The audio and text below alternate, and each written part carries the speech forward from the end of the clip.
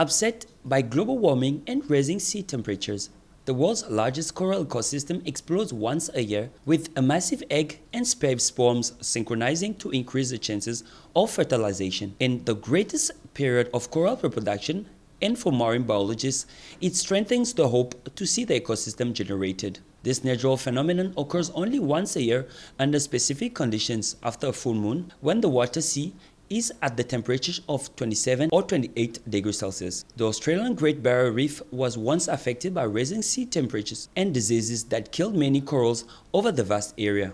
According to marine biologist Pablo Cogollos, this period of laying was very prolific, which is encouraging for the Great Reef Barrier, which has undergone two successive years of bleaching and remains threatened by global warming.